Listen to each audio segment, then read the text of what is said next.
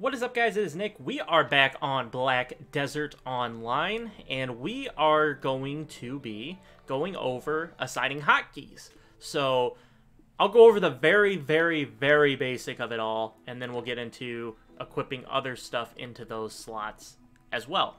So, you start off on this view right here. This is what you're going to have. It's going to have your main inventory and the item and the scroll wheel on the right. So, I personally prefer my left and right just to be heals, but you can stick other heals or whatever the heck you want anywhere. Um, I'm just going to talk in general terms of myself, and then we'll go from there.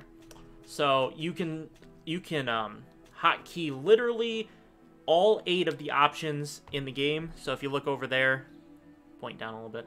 Um, there's the eight hotkeyable stuff it shows you. It shows you even which ones you have selected. So as you can see on the third over, you got the two potions and then you got the full circle wheel. You can see there's all eight of the options are full. For the fifth one in, the one that you can only see four lights, obviously there's only four there's only four selections made on that wheel. So that's really cool to me um, that actually shows you and it lets you know. In case you fill up all of them and you want them to be identifiable if you if you forget it's a really cool look. It's just a small minor touch that i do really like. But if you go in here say you wanted two potions on there what you'll do is you'll hit a on the item a obviously and then you'll flick it in the direction that you want it. So maybe i want it over there. So we have two potions now there. So now when i hit over it's going to bring this up and uh, I'll just flick the stick in the direction to get my heal. Um, I prefer that it not be... I prefer it just to be one button click away to be healed in case I get myself into some horrible scenario. In order to remove, just hit Y and then flick the stick towards whatever you want to take out and it'll take it right out for you. Uh, but it's pretty simple for the items. You just go ahead and equip them in there. Nice and easy. The next thing that you can equip in there are skills. So this is interesting that I haven't quite I haven't quite gotten into yet is equipping skills into the hotbar.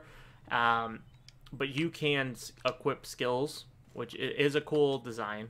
And the probably the best way to do this, in all honesty, would be to have the skill set to just one. So if I go ahead and remove that potion there, now every time I hit left on the D-pad, it's going to do this skill. Um, it lets you get a little bit more um, so you have your right bumper, right trigger, obviously. So I have this attack, but then if I hit right on the or left on the D-pad, it's going to do a brand new attack to me. For me, uh, a different attack, not a brand new attack, a different attack. Um, it's something I want to try to work out. Um, I might switch out this completely, the up. I usually open up my inventory anyway to do, or press the start button to do any of this. Um, so I don't really think I need it. So I might actually assign that to a skill and I might actually assign my down to bring out the black spirit to left trigger down. I don't remember to ever do left trigger down to pull up the quest, so I might change that, and so I can have two more skills with my healing, or three more skills if I choose to just have large healing potions. Um, but that's a cool thing that you can do with the skills. I'm going to set it back for now until I do decide to go ahead and do that. But I think that's a really cool thing you can do with the skills to get extra skills because, like on PC, obviously, you know, they have all the different you have all the different keys and buttons that you can map and do anything you want with on on Xbox. We've got the four main buttons. We have our two sticks the D-pad and the four buttons on the back. And that's all we've got unless you have a if you have a Scuf obviously you have the Scuf paddles here but those are just remapped to a button already available. So not really an extra slot. This is all your menu options, so if there's anything in the menu options that you want to pull up, you want to have available to pull up, you can pull it up here. Find mount location is a pretty good one to have up uh, as an option in my opinion.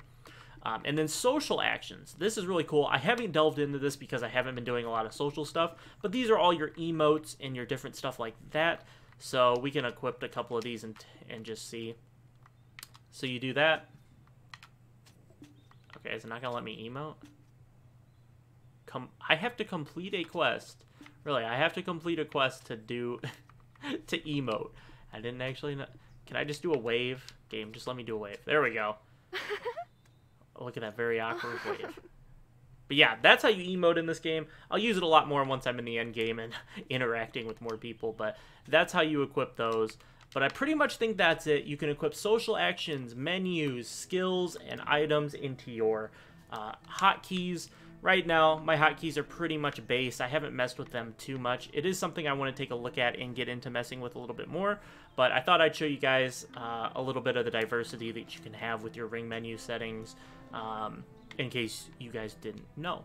But that's going to do it, guys. Drop the big old video a like if you did, subscribe if you have not, and I'll catch you guys in the next one. Peace!